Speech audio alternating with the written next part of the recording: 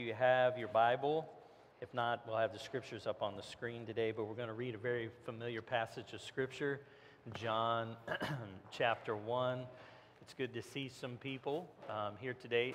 Caesar is with us, and we're really glad, and, and Mercy, and we've been praying for him, yeah, for sure, for a while. And he had a little setback a few months ago, but we're glad that he's with us today. And um, Adrian, Danielle, it's good to see you. Yeah, we're glad. I'm glad to, to have each of you who are with us today. I want to encourage you to be praying, as we mentioned, and be thinking about um, people with whom you can share the gospel. I mentioned this already, we've prayed already, but yesterday, 20th anniversary of 9 11, and uh, just the reminder. I hope we don't forget what happened that day. Um, it's a reminder of the darkness that is in this world at times.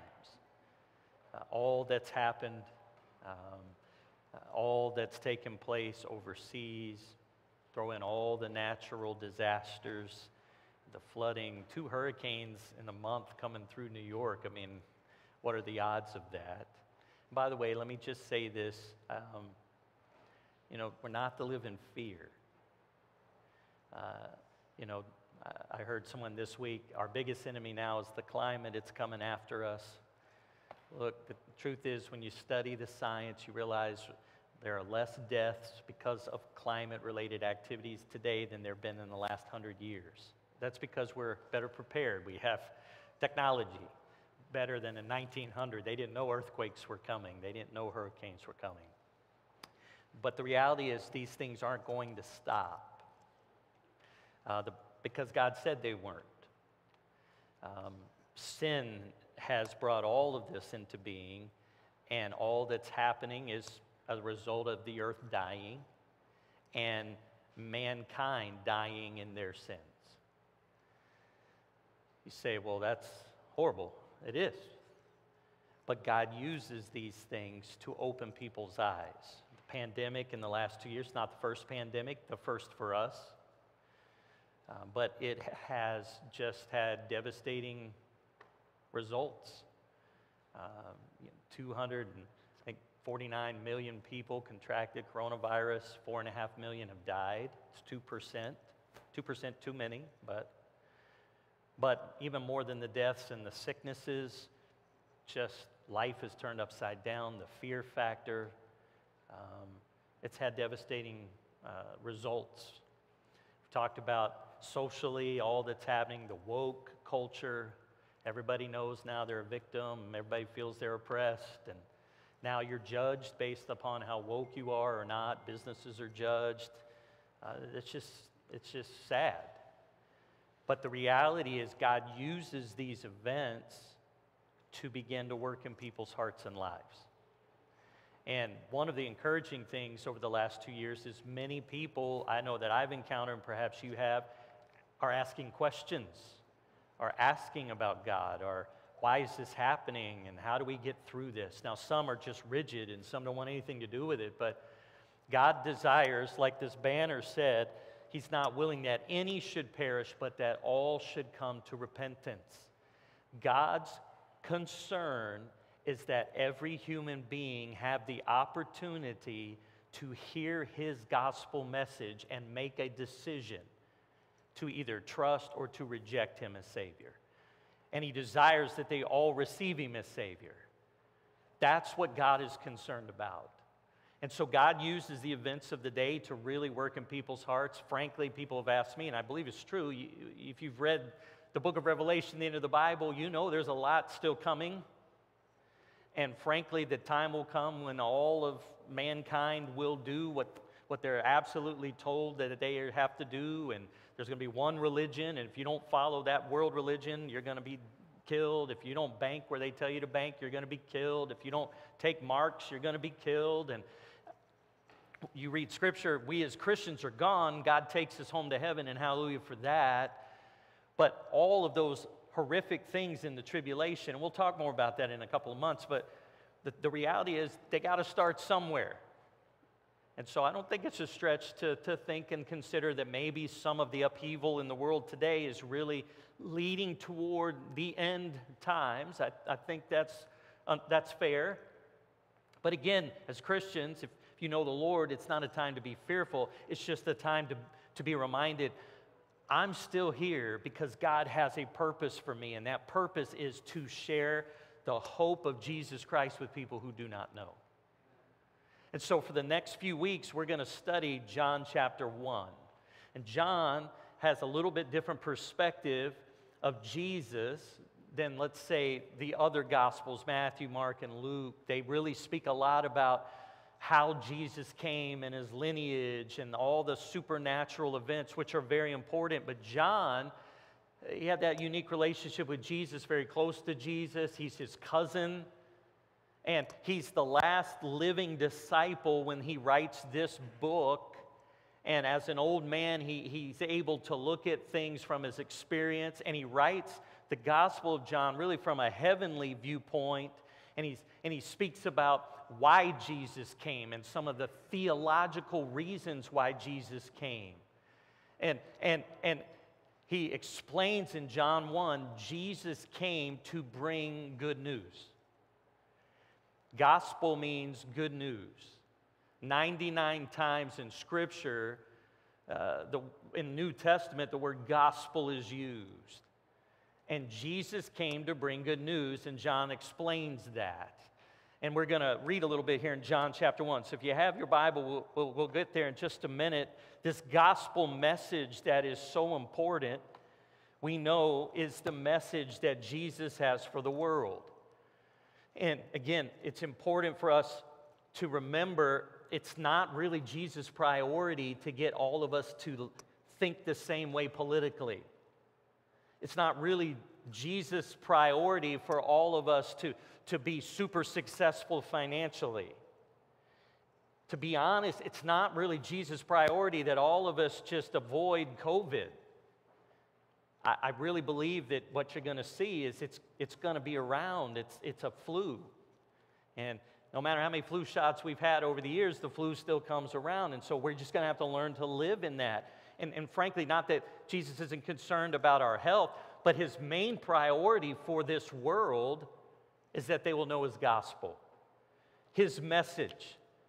The message that Jesus has for mankind, we're told, is a message that the whole world should hear. Matthew 24 and verse 14, Jesus said, In that gospel of the kingdom shall be preached in all the world as a witness unto all nations, then the end shall come. Do you know that there are still people in the world who have never one time heard a clear explanation or presentation about who Jesus is? Now, many of us, we've heard dozens of times. There are people in our city that if you ask them, tell me who Jesus is and, and, and, and what he came to do, they couldn't tell you. And Jesus said, before it all ends, all the nations should be able to hear. Mark chapter 13, the gospel must be first published among all nations. Mark 16 and verse 15, Jesus said that we're to go into all the world and preach the gospel to every creature. Have you noticed that many people will not come into the church. How many of you have ever spoken to somebody, invited somebody, and they said, No, I'm not going to a church? They're just not going to do that. But what's interesting is Jesus said, We as the church, we who know this gospel, we're to go to them. We're to share with them Jesus' message. And it's for all of us. It's not just our Sunday school teachers or Bible teachers or deacons or the pastor. If you know Jesus as your Savior, you've heard His message, you've trusted Him, then Jesus said, It is your responsibility and mine. Take ownership. We're to seek to try to share this with someone. That's kind of why we're challenging you. Think of someone in your life that you know needs Jesus. And then what are you doing to share Jesus with him or her? And I get it. You might say, that's just really not my skill set. I'm not really gifted in that way. And I, and I understand that. Some of us really are. And, But, but the reality is, we're, we're not exempt. We're to find a way. We're to pray, God, show me, give me opportunities where I can bring somebody to you. And we'll talk about that in the next few weeks. That's how important his message is. That's the message that he wants the world to know. Paul wrote in Acts chapter 20 and verse 24 None of these things in life, none of these things move me. I, I, I don't care what people think, what people do, what I have, what I don't have. It doesn't really matter. I don't even count my life dear unto myself. All that matters is that I might finish my course with joy in the ministry which I received of Jesus to testify the gospel of the grace of God. All I want to do is make sure that when I take my last breath, I did everything that I could to share Jesus, this message, this gospel, with as many people as I could. I've read enough in the last several weeks.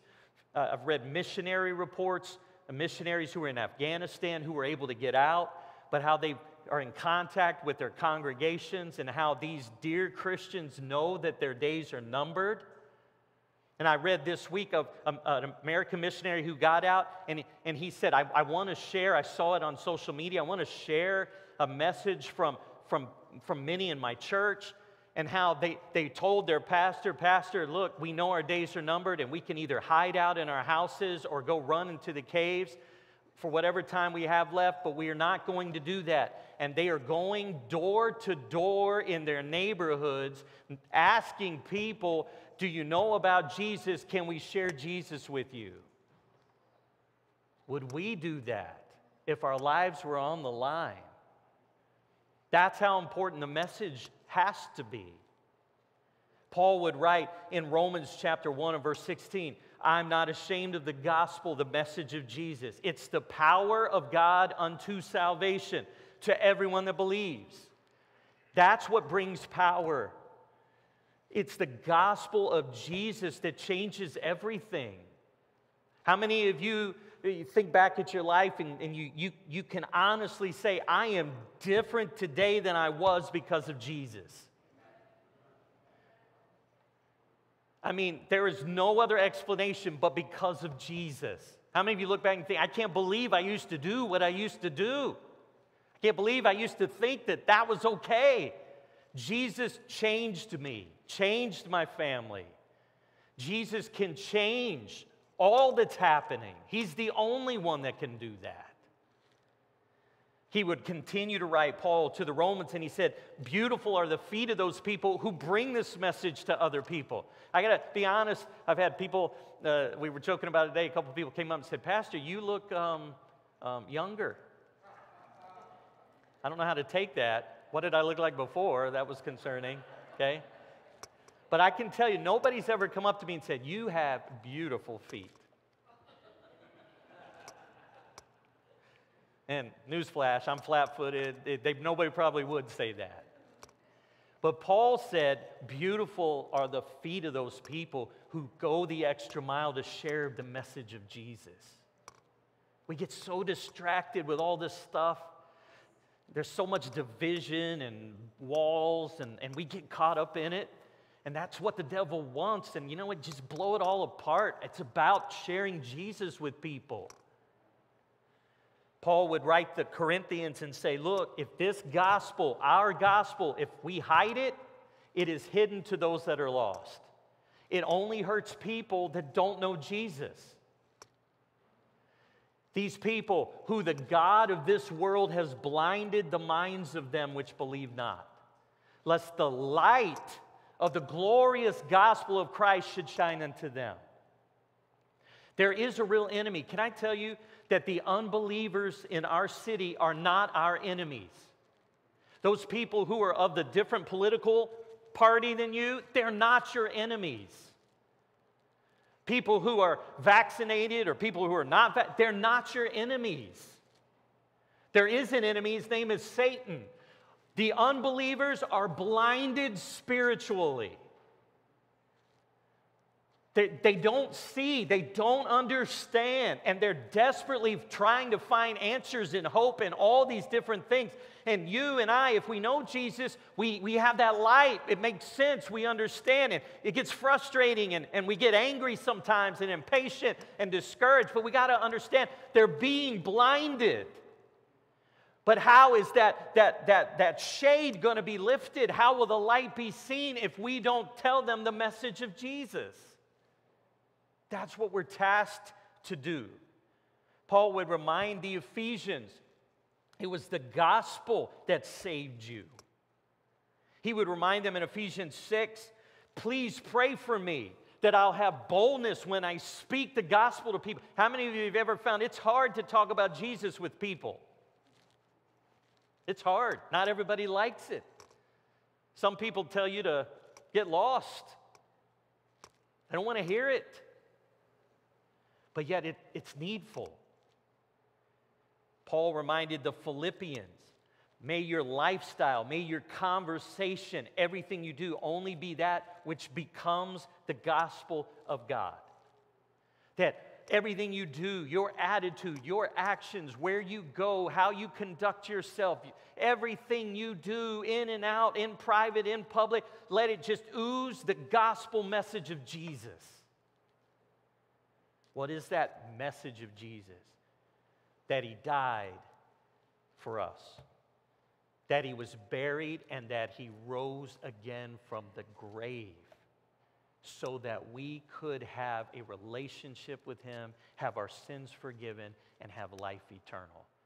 That's the gospel message. And that's what we're tasked to share. Are you sharing it with someone? am I sharing it with someone? John goes into greater detail. John chapter 1. Let me tell you about this Jesus, he, he, he really summarizes. Because this gospel message of Jesus is only as good and powerful as the source. It's only good news if the person delivering it can, can follow through. This is Jesus' gospel. Who is this Jesus?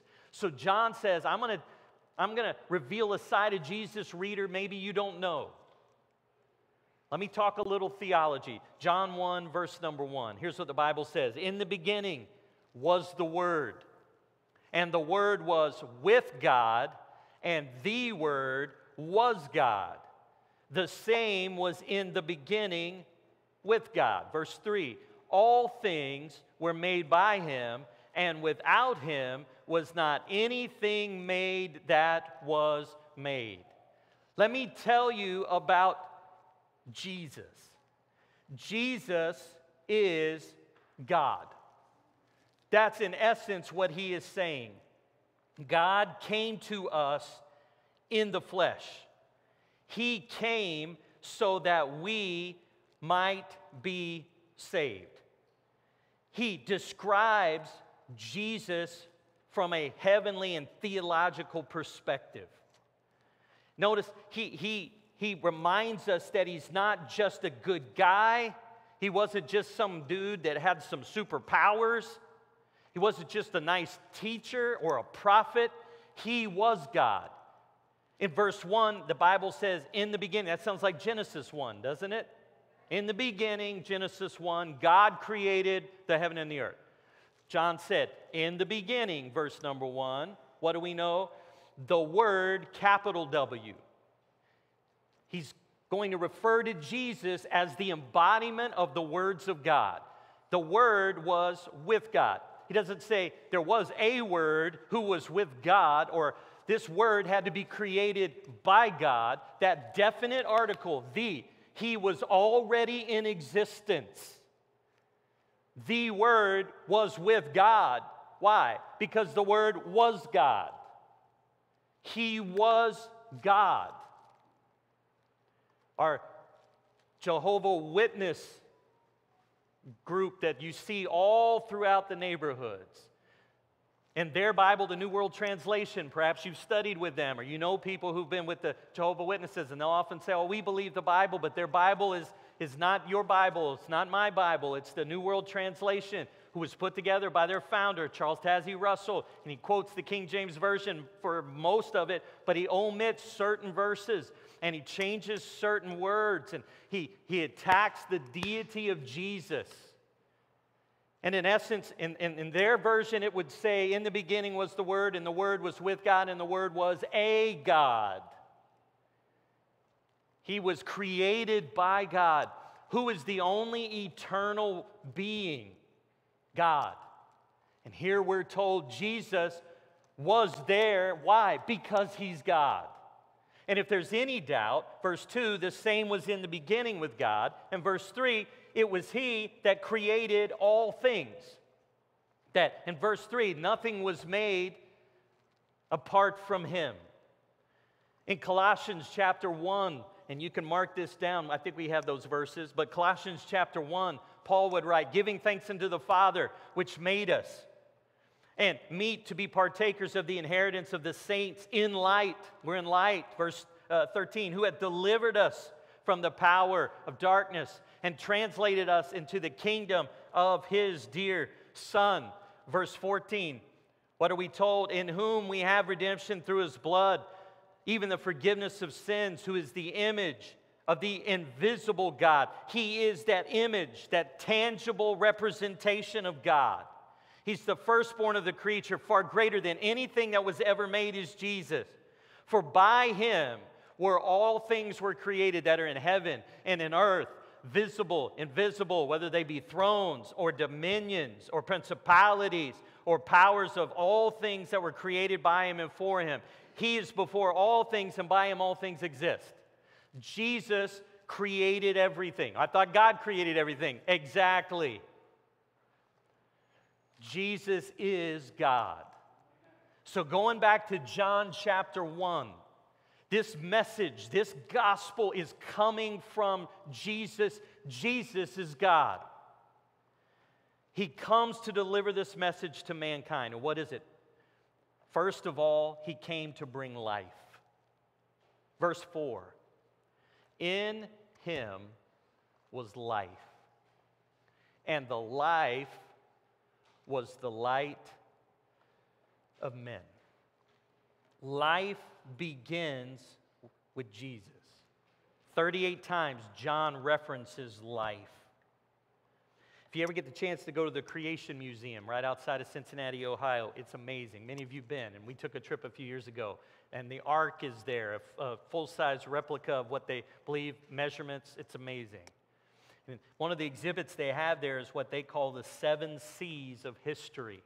And you walk through it, and really they try to summarize the Bible and, and, the, and, and man's history into seven categories creation, corruption, how man fell, the catastrophe that ensued, the flood, confusion, Tower of Babel, man thought they could do it their way, and then thousands of years of just not knowing, and then Christ then his cross, and then how all that he did, the consummation of how it all comes together.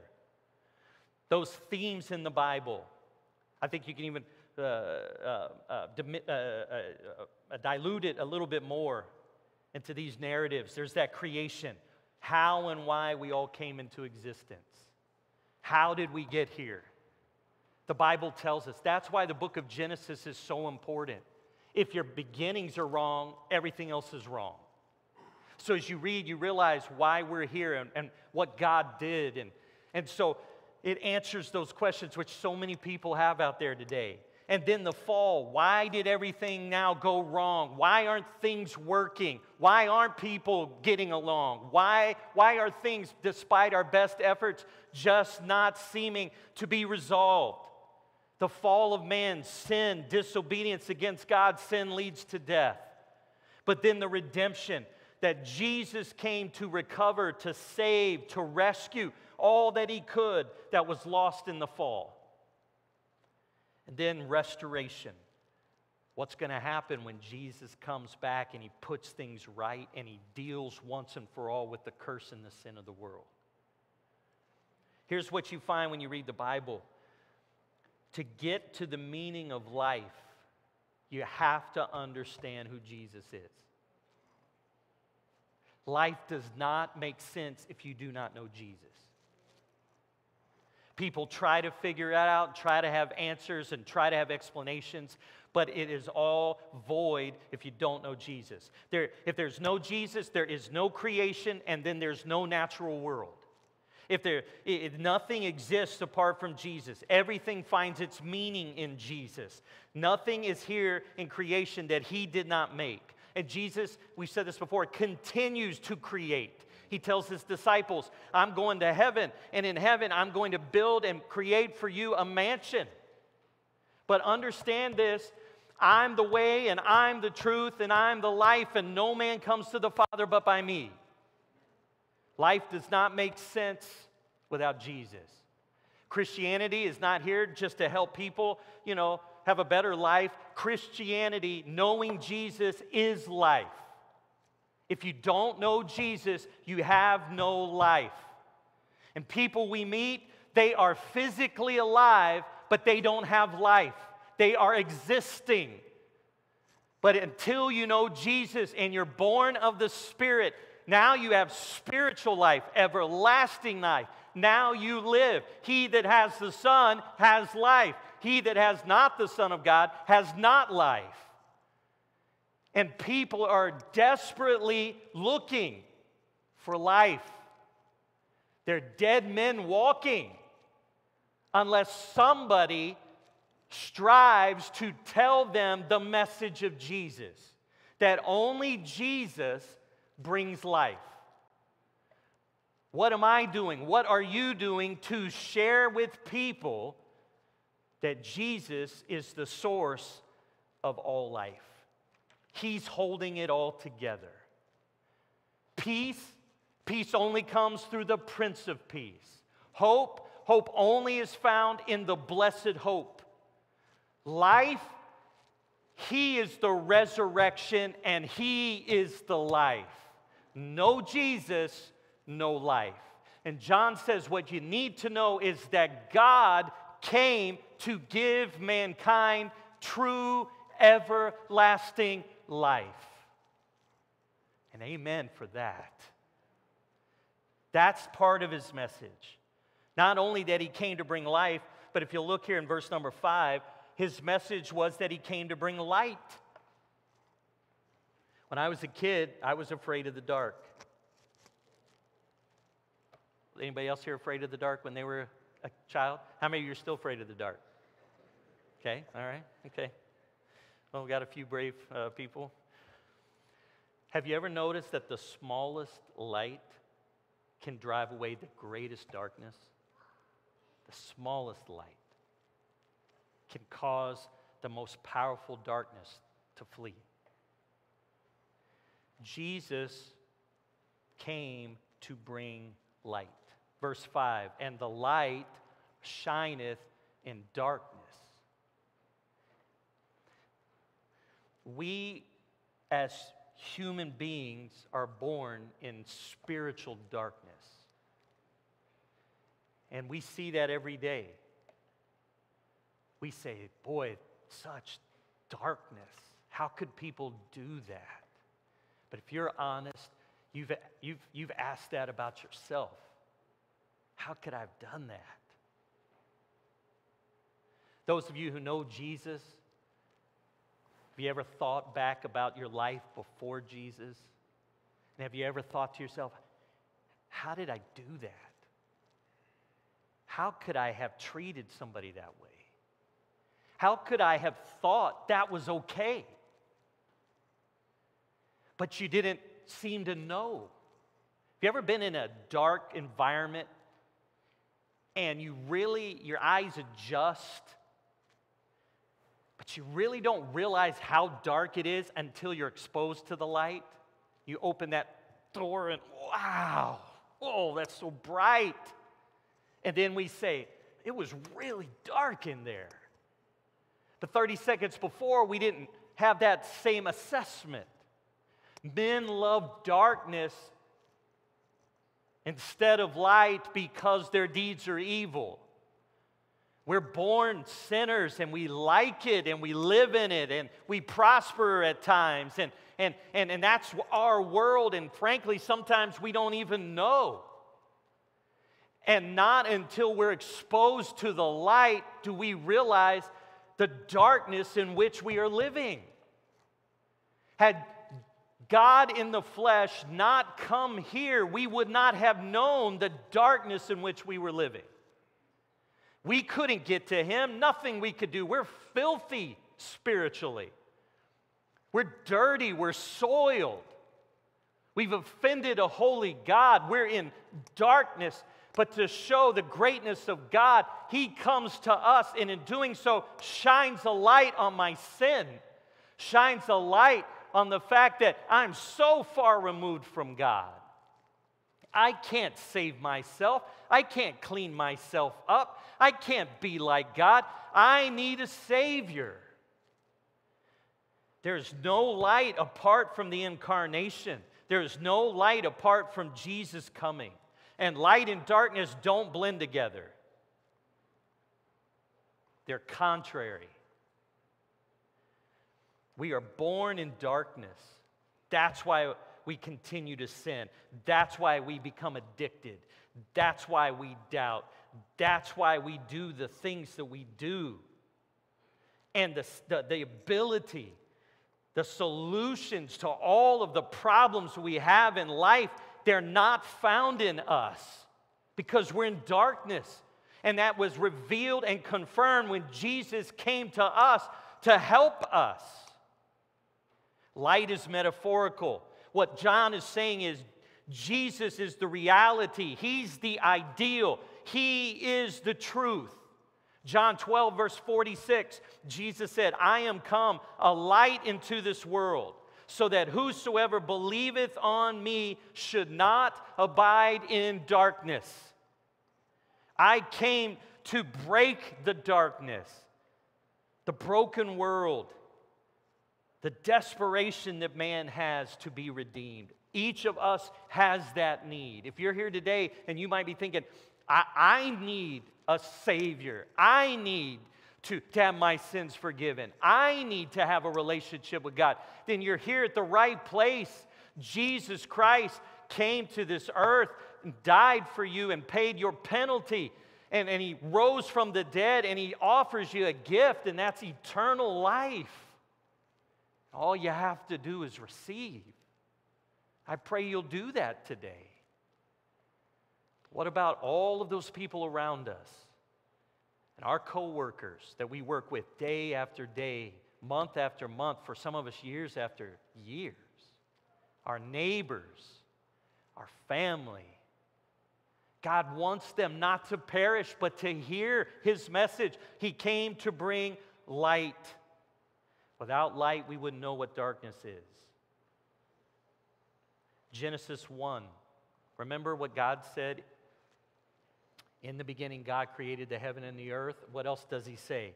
And darkness was across the face of the deep. And then God said, Let there be what? Light. God's word spoke, and it brought meaning and it brought light. Jesus is the Word, the capital W. And He was brought into this world to bring meaning and to bring light. Apart from Jesus, everything in our life is meaningless, without purpose, darkness. And the people all around us are just like we were as unbelievers. And they need to know Jesus. When Jesus enters a life, he changes everything. But we can either receive him or reject him. He came to bring life, he came to bring light, and he came to show his love. Notice here in verse number six, we're told that there was a man from God whose name was John. And this John was a witness but to bear witness of the light. John wasn't the light himself, but he was sent to bear witness of that light. Verse 9 That was the true light which lighteth every man that cometh into the world. Verse 10 Jesus was in the world. The world was made by him, and the world knew him not. There are people that don't know about Jesus. Verse 11, and then he came into his own, and his own received him not. There are many who know about Jesus, but have just rejected him. But verse 12, but as many as received him, to them gave he the power to become the sons of God, even to them that believe on his name. But to those, hopefully to you and to me, those of us who re- realized I need a Savior and we turn to him and we put our trust in him, he gives us the power. He births us into his family. We become the sons and the daughters of God for all eternity. Verse 13, we were born, not physical birth but a spiritual birth. It wasn't by our blood because of what family we were, we were in. I'm not a, a saved, I'm not a child of God because I grew up in a certain family.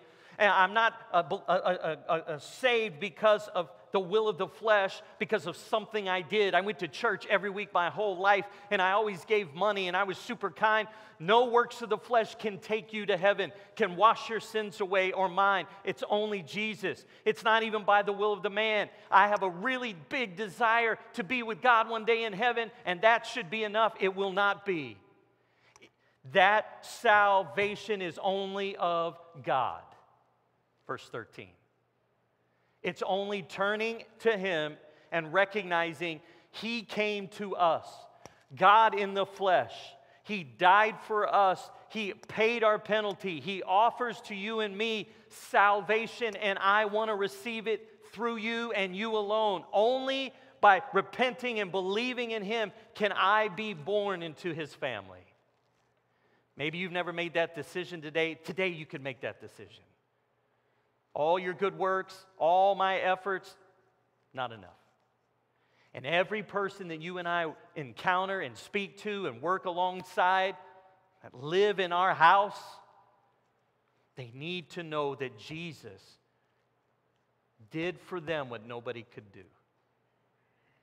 Verse 14 So John said, and the Word, Jesus was made flesh and dwelt among us. We beheld his glory as of the only begotten of the Father, full of grace and truth. So, Jesus, the Word of God, God Himself, came to us. We saw Him, we heard Him, we observed Him, and there was no doubt He was God. That's His message. He came because He loved us. For God so loved the world that he gave his only begotten son. Robert Oppenheimer said the best way to send an idea is to wrap it up in a person.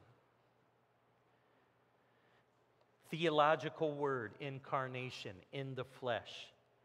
The fleshly appearance of God is Jesus. Bible says no man can, can see God at any time without dying. God is a spirit. So, because I can't get to him, he comes to me and he takes upon himself a body. That's the incarnation. God himself in the flesh. 100% man, so he could demonstrate how it is that we should live as a human being, but 100% God. And he comes to reveal this message. I don't know if you ever met any famous people in your life. Living in New York City, sometimes you accidentally run into famous people actors, athletes, media. There's a difference in actually knowing a person and just saying hello. I think I've shared this, but a long time ago, I, I bumped into Jerry Seinfeld in Central Park, and he said, Hello. And I said, uh, Hello. That's my big claim to famous people. Do I know Jerry Seinfeld? No. I can make assessments about people. Oh, that guy looks pretty nice. She's a bad dresser. That guy likes to eat. You know, we can make assessments, but we don't really know somebody until we converse and talk to them. Your word is the ultimate expression of who you are. So God says, you know what? I don't want man just to kind of make assessments about who I am. Maybe, maybe God loves me. Maybe God only loves me when I do good. Maybe God's not there all the time. I don't want mankind to just guess. So I want them to know me. And the greatest expression of myself is my word. And I'm going to take my word and embody it in flesh and send it to them. So the idea is if you and I want to know God, listen to Jesus. He's an expression of God. And when Jesus is walking around on the earth three times, the Father says, Behold, this is my beloved Son. This is my representation. Hear ye him.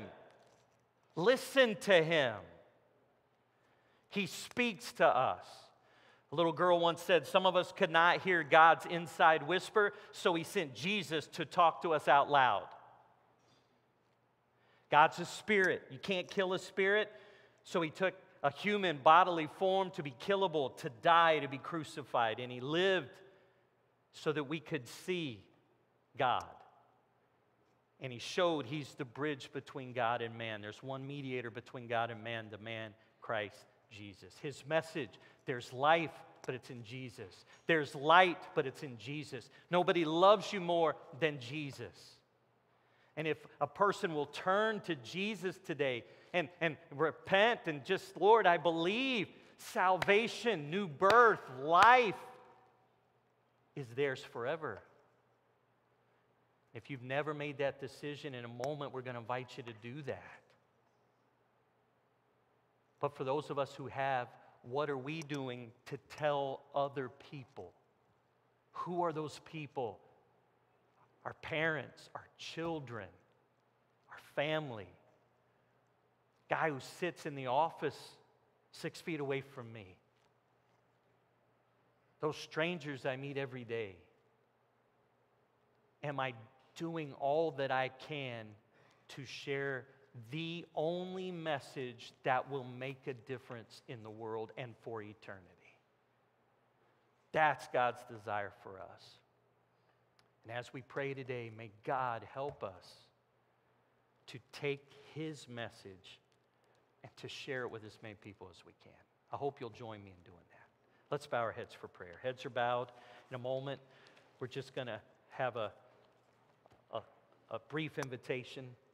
Look, if you need to come today to pray, you need to come talk to someone. Maybe God's put somebody on your heart. Maybe you're a believer and you say, you know, the truth is, the last thing I'm thinking about right now is other people and their spiritual well being. But I realize that's what I need to be thinking about. That's why I'm here. Today, maybe it's just you saying, Lord, keep me focused. God, my family, those people, I used to pray for them all the time and I stopped. I don't want to stop. Those people in my apartment building, those people who live next door to me, my coworkers, God, give me opportunities, give me wisdom, help me to realize that's why I'm here. They have no hope, they have no sense of, of life if they don't know you. If you're a Christian today, a believer, would you pray that with me? God, use me to point people to you. And if you're here today, maybe you're saying, you know, the truth is, Pastor, while you're preaching, I don't know that I have that relationship. I want that relationship with God. It's through Jesus. It's not by coming to church here, it's not by being a good person.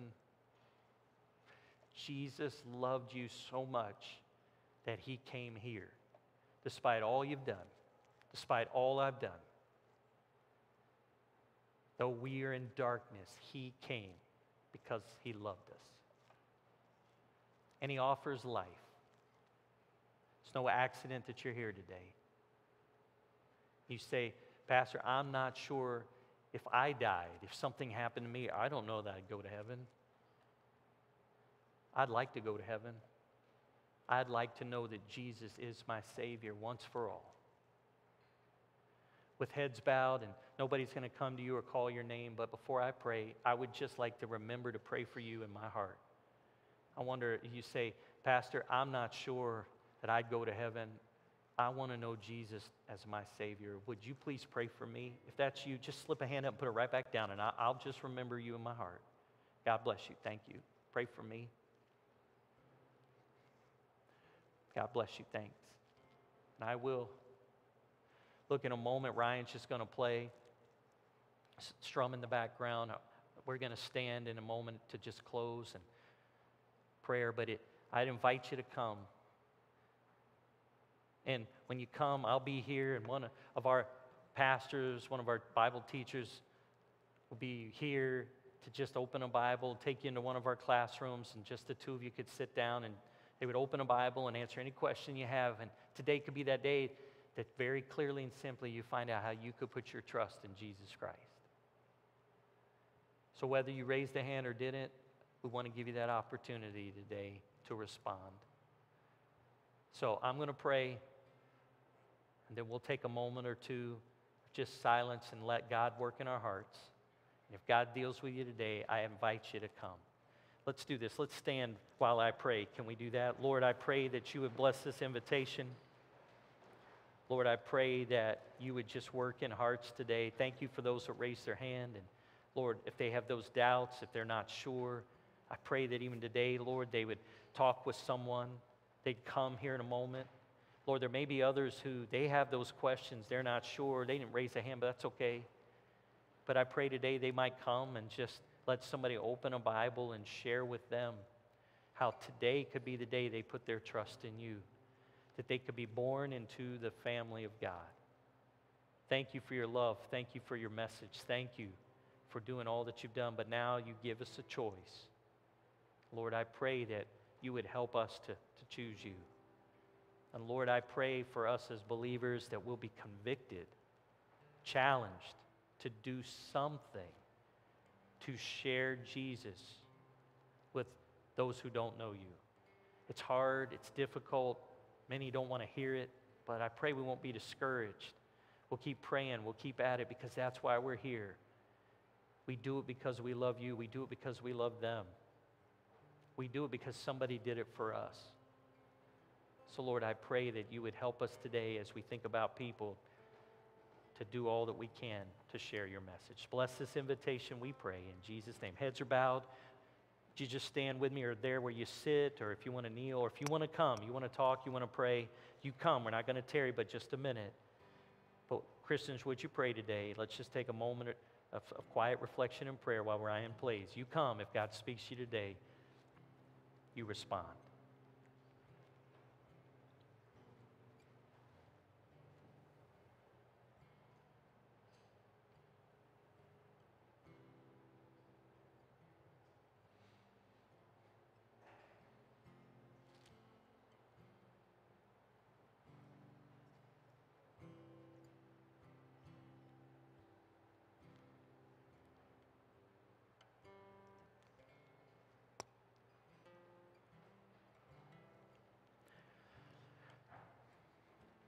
Dear Lord, I thank you for your message. I thank you that you came for us to bring life and light, to show the greatest love that could ever be seen. So, Lord, I pray today as we go forth that we'll remember as recipients of that, we'll rejoice no matter how bad we think things are, and that we won't ever forget what you've done for us. And that we'll just rejoice. And for whatever time you have us here on this earth, Lord, will do all that we can to speak about you, to point people to you, because honestly, you are the only hope. You're the one with all the answers. And Lord, we know there are still people who want to hear about it, or we wouldn't be here. So, Lord, give us a burden again. Help us to all see how we could reach someone else. That we'll invite people, we'll pray for people, we'll share what you've done in our lives with others. Pray you do that. And Lord, pray for anybody today that may still have questions themselves. Even after the service is over, they'll come talk to me or someone, and today would be the day, Lord, they put their trust in you. God, we love you. We thank you for all you've done. Lord, I pray we'll be encouraged as we head home. Bless all the ministries this afternoon, ESL, and services tonight. And Lord, take us home with your blessing as we prepare for the week. Keep us safe, but help us to stay focused on that which is important to you. God, thank you for this great uh, day of worship. It's good to see so many people back and people gone. And Lord, I pray we'll just continue to see others. Thank you for our guests. And just build your church, Lord, for your honor and your glory. Bless the offering, Lord, as people leave today and as we worship you, as we give. Bless, Lord, meet the needs here in our missionaries. Bless them all around the world. Keep them safe in, in, in countries, Lord, that we pray. And, and Lord, I just pray your name will be glorified. We love you. We thank you. Send us home with your blessings, we pray. And we ask all these things in Jesus' name.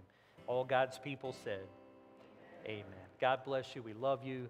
Glad to see you here today. Be here every week. Don't miss a week.